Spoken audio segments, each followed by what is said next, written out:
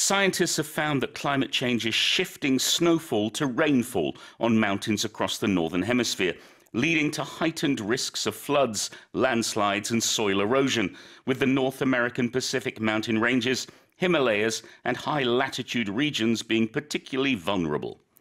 과학자들은 기후 변화로 북반구의 산악지대에서 눈이 비로 변하는 현상이 나타나고 있으며 이 지역의 홍수, 산사태 및 토양 침식의 위험이 증가하고 있다고 전했습니다.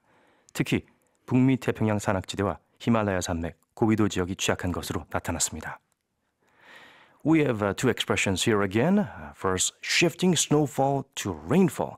눈이 비로 변하다. And next, being particularly vulnerable. 유난히 특히 취약하다. Yes, so shifting snowfall to rainfall. Um, here, the word shifting means changing. Um, uh, again, talking about driving, um, uh, you shift gears. You go from first gear to second gear to third gear. You can change gears, but the other word that we often use for it is shift gears. So it means some kind of change or movement or transformation. In this case, uh, the weather is changing from snow to rain.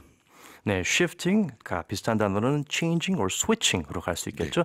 shifting 같은 경우는 기어 같은 데서 많이 쓰죠. 기어 같은 경우는 이제 1에서 5단으로 쭉쭉쭉 바꿔간다. shifting. 그리고 사람이 어, 앉아서 엉덩이를 좌우로 잡고 움직인다. You're shifting.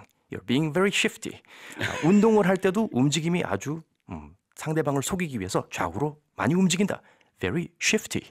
라는 단어를 쓰죠. Yeah, and the funny thing is, when we use it as a noun, it can mean something completely different. Um, mm-hmm. You're doing a shift on Morning Special. Mm-hmm. For two hours, you're working here. That is your work shift. Right. They also have a bad negative connotation when you say someone's shifty. Meaning they're suspicious. You're wondering what they're doing. They seem like they could be causing some kind Moving of trouble. Moving high and low, turning left and right, looking around to see what they can do to take advantage of the situation is how someone would describe someone shifty. You you just looked a bit shifty Ooh. then.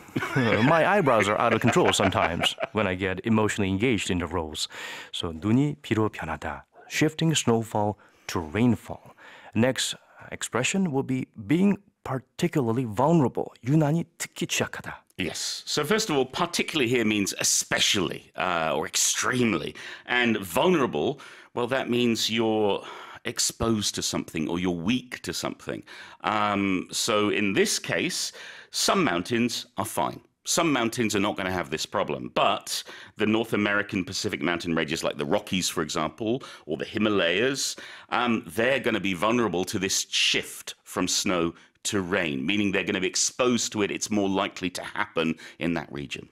So particular is the word. Someone that's very particular, 까다로운 사람이라고 할 수도 있죠. Uh, very particular about the way he dresses, the way he is uh, served his breakfast, two pancakes and half a waffle. Half a waffle? My goodness. No bacon, no eggs, two pancakes, and no, not even syrup, Daniel? That's how particular that person is. 까다롭다고 볼 수도 있죠. 네. Uh, particular also when we talk it talk about particulate matter. We're talking about 미세먼지, which we mention a lot. 저희 뉴스에서 기상 캐스트에서 자주 나오는 단어죠. 미세먼지, 미세하게 분자 단위로 나눠서 아주 아주 디테일하게 particular.